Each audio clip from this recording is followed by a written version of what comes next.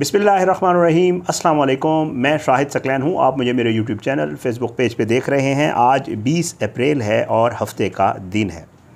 کراچی کے درخشاں تھانے سے بڑی افسوسناک خبر آتی ہے کہ ایک ملزم موئز نامی، یہ ملزم ہوتا ہے کہ اس کی جو ہے وہ پولیس کسٹڈی میں جو ہے وہ موت ہو گئی ہے۔ اور پولیس یہ بتاتی ہے کہ اس شخص کی موت دل کا دورہ پڑنے سے ہوئی ہے۔ لیکن معاملہ تب پتہ چلتا ہے جب پولیس اس کو لے کر ہسپتال جاتی ہے اور وہاں پہ اس کا میڈیکو لیگل ہوتا ہے۔ جب میڈیکو لیگل ہوتا ہے تو پتہ چلتا ہے کہ اس شخص کی موت کی وجہ کچھ اور تھی۔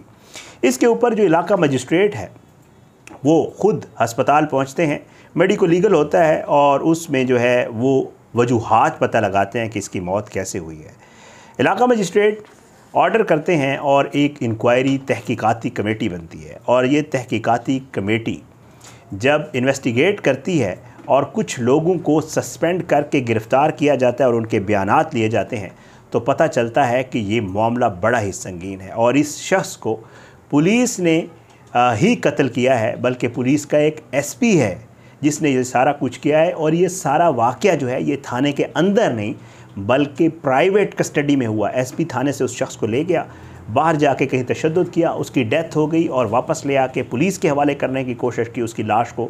پولیس والوں نے اس کی لاش دی ہسپتال لے گئے اور اس کے بعد جو واقعہ ہوا آج کی اس ویڈیو میں، اس کی تفصیل آپ کے سامنے رکھوں گا کہ کس طرح کراچی میں، ویسے تو پورے پاکستان میں جو کچھ ہو رہا ہے وہ سب کے سامنے ہے، لیکن کراچی میں کس طرح ایک شخص کو جو کہ پہلے بزنس مین تھا، اس کی بھی مجھے کچھ ڈیٹیلز ملی ہیں، پھر اس نے کپڑے کی کچھ شاپس تھیں، پھر اس کے بعد جو ہے بھتہ خوری کے الزام میں اس کو اس کے بیٹے کو اٹھایا گیا اور پھر اس کے بعد اس شخص کی موت واقع ہوئی درخشاں تھانے میں۔ ایس پی کیسے قاتل نکلا؟ تحقیقاتی کمیٹی میں کون سی چیز سامنے آئی؟ پوسٹ مارٹم رپورٹ میں کون سی چیزیں سامنے آئی میرے پاس مکمل تفصیل آ چکی ہے۔ میں نے کہا آپ کے ساتھ شیئر کر دوں کہ کس طرح یہ سارا کچھ ہو رہا ہے۔ آپ سے درخواست ہے کہ اگر آپ نے اب تک میرا یوٹیوب چینل سبسکرائب نہیں کیا تو میرے یوٹیوب چینل کو سبسکرائب کریں بیل آئیکن کو کلک کریں تاکہ جو بھی ویڈیو اپلوڈ کروں نوٹیفیکیشن کی صورت میں آپ کو ملے اور ساتھ ساتھ جو ہے وہ فیس بک پیج کے اوپر ویڈیوز اپلوڈ ہوتی ہیں۔ وہاں بھی فالو کریں ویڈیوز کو لائک اور شیئر کیا کریں، اپنا فیڈ بیک کمنٹس کی صورت میں۔ دیا کریں۔ ہوتا یہ ہے کہ اتوار کی روز جی بھتہ خوری کے مقدمے میں مبینہ طور پر ملوث ایک ملزم کو جو ہے وہ گرفتار کیا جاتا ہے اور اس شخص کی جو ہے پیر کو متنازع حالت میں جو ہے پولیس کسٹڈی میں ڈیتھ ہو جاتی ہے۔ پولیس کا کہنا ہے کہ ملزم جو ہے اس کو سی ویو کے رہائشی عبد الباسط کی جو ہے وہ اس کے اوپر شکایت کے اوپر کہ یہ ملزم موئز اس کو بھتے کا کہہ رہا ہے کہ جی مجھے بھتہ دیا جائے، تو موئز نے کی شکایت کرتا ہے عبد الباسط اور پولیس اس کو گرفتار کرتی ہے۔ پولیس کہتی ہے کہ جی اس شخص کی موت جو ہے وہ دل کا دورہ پڑنے سے ہوئی ہے، لیکن پوسٹ مارٹم کے لیے جنا postgraduate graduate medical college جو ہے اس کو سینٹر سوری منتقل کیا جاتا ہے تاکہ اس کی موت کی وجہ جو ہے وہ معلوم کی جا سکے۔ بہرحال جب اس کا پتہ چلتا ہے کہ یہ واقعہ ہو گیا ہے، تو ڈی آئی جی جنوب سید اسد رضا جو ہے وہ اس کی ہلاکت کا نوٹس لیتے ہوئے انکوائری کا حکم دیتے ہیں۔ اور صدر ایس پی کو انکوائری افسر مقرر کیا جاتا ہے اور انہیں کہا جاتا ہے کہ چوبیس گھنٹے کے اندر جو ہے، اس کی جو ہے تحقیقات جو ہے وہ کر کے نتائج دیے جائیں۔ اور ساتھ ساتھ ایس ایچ او درخشاں علی رضا لغاری کو بھی، اور جو اس کا ہیڈ مورر ہے، اس کو بھی معطل کر دیا جاتا ہے۔ یہ معاملہ یہاں تک ہو جاتا ہے۔ اس کے بعد کیا ہوتا ہے؟ Post mortem report. اب جب اس کو جناح ہسپتال کی جانب سے بنائی گئی جو ابتدائی میڈیکل رپورٹ ہوتی ہے اس میں جو ہے لکھا جاتا ہے کہ جی اس شخص کے جسم کے اوپر تیرہ جگہوں پر جو ہے وہ بدترین تشدد کیا گیا ہے۔ رپورٹ میں کہا جاتا ہے کہ جی یہ اس کی موت جو ہے یہ غیر طبی ہے، یہ طبی موت نہیں ہے اور جو ہے اس کو مردہ حالت میں ہی ہسپتال لایا گیا تھا۔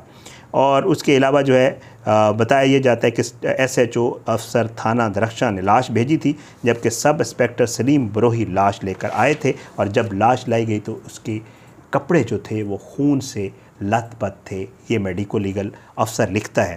اور اس کے بعد جو ہے جوڈیشل مجسٹریٹ جنوبی جو ہے وہ ملوث، اس معاملے میں جو ملوث ہوتے ہیں ایس ایچ او درخشاں علی رضا اور ہیڈ مرر فیصل لغاری جو ہے، ان کو سسپینڈ کیا جاتا ہے، گرفتار کیا جاتا ہے، انہیں عدالت میں پیش کیا جاتا ہے۔ جب عدالت میں پیش کیا جاتا ہے تو ان کا تین روز کا جسمانی ریمانڈ منظور ہوتا ہے جو کہ سترہ تاریخ کو اور آج بیس تھی۔ بہرحال جی جب یہ سارا معاملہ سامنے آتا ہے تو سی سی ٹی وی فوٹیج کی بات آتی ہے کہ جی تھانے کی سی سی ٹی وی فوٹیج نکالی جائے تو پتہ یہ چلتا ہے کہ تھانے کی سی سی ٹی وی فوٹیج اس واقعہ جب اس کی موت ہوئی اس وقت اس کی سی سی ٹی وی بند کروا دی جاتی اب جو ملزم کا وکیل ہے صلاح الدین پور صاحب، انہوں نے میڈیا ٹاک بھی کی، انہوں نے کہا کہ جی ملزم پولیس کسٹڈی میں تو ہلاک ہی نہیں ہوا، ملزم کو تھانے میں تشدد کا نشانہ ہی نہیں بنایا گیا۔ وہ کہتے ہیں کہ جی جی ایس پی کلفٹن نیر الحق یہ بندہ ہے جو اس ملزم کو پولیس گرفتار بھی اسی کے گن مین اور گارڈ نے کیا تھا اور ایس پی نے کیا تھا اور لاش بھی اس کی یہی دے گئے تھے تھانے میں۔ بہرحال جی وہ کہتے ہیں کہ جی جو ایس جو میرے مدعی ہیں مطلب یہ جو ایس ایچ او ہے جو محرر ہے، یہ بے گناہ ہے اس معاملے میں۔ نہ انہوں نے بندہ مارا ہے، نہ انہوں نے اٹھایا ہے اور اس کے بعد جو ہے یہ معاملہ آگے چلتا ہے۔ اب جو انویسٹیگیشن تحقیقاتی کمیٹی ہوتی ہے، وہ جو اپنی رپورٹ ہے، وہ جب بناتی ہے تو وہ بھیجتی ہے۔ اب یہ رپورٹ بنی ہے میرے پاس جو آئی ہے۔ ایڈیشنل آئی جی کراچی کو جمع کروائی جاتی ہے۔ اب اس رپورٹ میں جو کچھ لکھا گیا ہے اور پھر آگے جو ایکچول حقائق ہیں وہ سارے آپ کے سامنے رکھ دیتا ہوں۔ اس میں کہا گیا کہ سابق ایس پی کلفٹن نیر الحق زیر حراست ملزم کے قتل کا ذمہ دار ہے۔ کیوں؟ رپورٹ میں کہا گیا ہے کہ ملزم مویز کو تھانے میں نہیں بلکہ کسی دوسری جگہ پہ قتل کیا گیا۔ انکوائری رپورٹ میں کہا گیا کہ سابق ایس پی نیر الحق سے قتل کی دفعہ تین سو دو کے تحت تفتیش کی جائے۔ تحقیقاتی کمیٹی کا کہنا ہے کہ ایس ایچ او درخشاں علی رضا لغاری ملزم کے قتل میں براہ راست ملوث نہیں۔ ایس ایچ او نے حکام کو آگاہ نہیں کیا تھا۔ ان کے خلاف محکمہ جاتی کارروائی کی جائے۔ مطلب اس کا ملزم کا، جو ایس ایچ او ہے، اس کا یہ جرم ہے کہ اس نے بتایا نہیں اپنے کہ جی ایس پی صاحب جو ہے، وہ بندہ لے گئے۔ رپورٹ میں کہا گیا کہ سابق ایس پی نیر الحق نے مقتول کی پوسٹ مارٹم رپورٹ بدلنے کی کوشش کی۔ وہ مقتول مویز کو تھانے سے باہر لے جانے میں ملوث ہے۔ سابق ایس پی مقتول کو سیاہ رنگ کی کار میں لے کر گیا تھا۔ انکوائری رپورٹ کے مطابق سرکاری گاڑی ایس پی جی پانچ سو چھیاسٹھ میں جنید اور والد مویز کو حراست میں لیا گیا تھا۔ یہ اور اس کا بیٹا دونوں حراست میں لے گئے۔ اسی گاڑی میں مقتول مویز کی لاش کو مردہ خانے پہنچایا گیا۔ مقتول کی موت پندرہ اپریل کو دو بجے ہوئی۔ تحقیقاتی کمیٹی کا کہنا ہے کہ ان تمام چھاپوں کا حکم براہ راست سابق ایس پی کلفٹن نیر الحق نے دیا۔ ان چھاپوں اور گرفتاریوں سے سینئر پولیس افسران کو مکمل طور پر بے خبر رکھا گیا۔ یہ پرسنل اس کے اوپر۔ میں آگے چل کے آپ کو بتاتا ہوں اب کیا ہو، کیا رہا ہے اور کیا معاملہ تھا۔ رپورٹ میں بتایا گیا کہ مقتول مقتول مویز کو مقدمے میں گرفتار کیے بغیر درخشاں تھانے میں تفتیش کی گئی۔ روزنامچے میں مقتول کی گرفتاری کی جعلی انٹری کروائی گئی۔ یہ ہو رہا ہے کراچی میں۔ اب جی ایس پی صاحب جو ہیں، وہ فرار ہو گئے ہیں۔ ٹھیک ہے، پولیس ان کی گرفتاری کے لیے چھاپے مار رہی ہے۔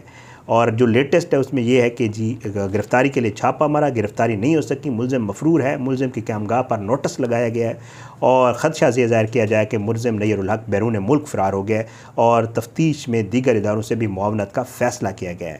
اور اس کے بعد یہ کہا جا رہا ہے کہ جی قتل کی دفعات کے تحت کارروائی کی سفارش کی تھی، تحقیقاتی کمیٹی نے جو پولیس افسر نیر ہے، اس کا موبائل نمبر بند ہے اور ایک دفعہ بھی وہ کمیٹی کے سامنے پیش نہیں، وقع ہوتے ہیں۔ ہمارے آپ کو پتہ ہے، جو افسر ہوتے ہیں، کمیٹی شمیٹی کے سامنے پیش نہیں ہوتے اور یقیناً اس کے پیچھے کسی بڑے شخص کا یقیناً ہاتھ ہے۔ کیونکہ یہ آگے چل کے آپ کو بتاتا ہوں، میری وہاں پہ صحافیوں سے بات ہوئی بتاتے ہیں کہ یہ جو گرفتاری بھی کی گئی تھی، یہ فرمائشی گرفتاری تھی۔ آگے ہے کیا میں آپ کو بتاتا ہوں۔ ہلاک ہونے والے ملزم مویز کو بیٹے سمیت گرفتار کیا گیا تھا۔ بیٹے کو ایس آئی یو کے حوالے کر دیا، جبکہ ملزم ملزم کو ایس پی کے حوالے کیا گیا تھا۔ ایس پی نے ہی تشدد کا نشانہ بنایا اور مویز کی موت واقع ہوئی۔ اب ہے کیا؟ بتایا یہ جا رہا ہے کہ یہ جو ایس پی کلفٹن نیر الحق صاحب ہیں، ان کے اوپر کروڑوں روپے کی فرمائشی ریکوری کا سیاسی ٹاسک ملا تھا ان کو۔ گیارہ مارچ کو درخشاں تھانے میں بھتے کا مقدمہ درج کیا گیا۔ ایک مبینہ ملزم گرفتار کیا گیا اور اسے سی آئی اے کے حوالے کر دیا گیا، جبکہ ملزم کے والد کو گرفتار کرنے کا ٹاسک سی ویو چوکی انچارج ثناء اللہ کے سپورٹ کیا گیا۔ بہرحال جی یہ سارا معاملہ ہوتا رہا۔ چودہ تاریخ کی دوپہر ایس پی نیر الحق اپنے ڈرائیور اور گن مین کے ساتھ درخت تھانے پہنچا اور سی سی ٹی وی کیمرے بند کرا دیے۔ یہ وہاں کے صافی دوست بتا رہے ہیں۔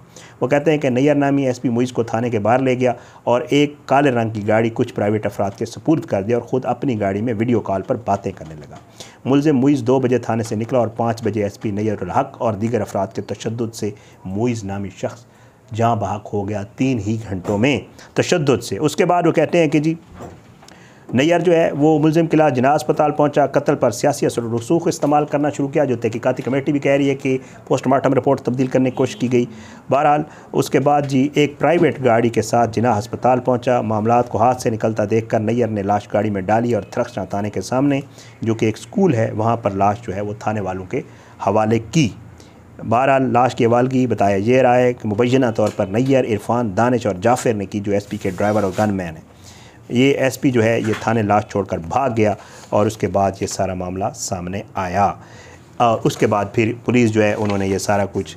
بہرحال جی بہت افسوسناک عمر یہ ہے کہ لاش پر تشدد تھا، مخصوص اس کو جلایا گیا تھا اور اس سارے معاملے کو کیا گیا تھا۔ اور ذمہ دار جو ہے، ایس پی ہی نکلا ہے۔ اس حوالے سے ایس پی کے حوالے سے تھوڑا سا آپ کو بتا دوں کہ کس طرح سیاسی اثر و رسوخ اس کا ہے۔ ایس پی جو ہے وہ بھائی دو ہزار سولہ سے دو ہزار اٹھارہ تک ڈی ایس پی درخشہ رہا۔ دو ہزار بائیس کے تین ماہ ڈی ایس پی فریئر رہا، جس کے بعد پھر من پسند پوسٹنگ لے اڑا اور تین دس دو ہزار بائیس سے پندرہ تین دو ہزار چوبیس تک درخشاں، ڈی ایس پی درخشاں رہا۔ اور ایس پی ہونے کے بعد ایک مرتبہ پھر من پسند پوسٹنگ ملی اس کو۔ اور یہ جو ہے، اس کے خلاف بتایا یہ جا رہا ہے کہ سابق آئی جی سندھ، اے ڈی خواجہ نے انکوائری کرائی۔ اور اس کو عہدے سے ہٹایا گیا۔ اس کے بعد کلیم امام نے انکوائری کروائی، اس کو ایک بار پھر عہدے سے ہٹایا گیا، لیکن اس کی اتنی پہنچ ہے اور اتنا اس کا ماشاء اللہ اثر و رسوخ اور اوپر والوں کے ساتھ تعلقات اچھے ہیں کہ یہ بار بار پوسٹ ہو جاتا ہے عہدے سے ہٹنے کے بعد بھی۔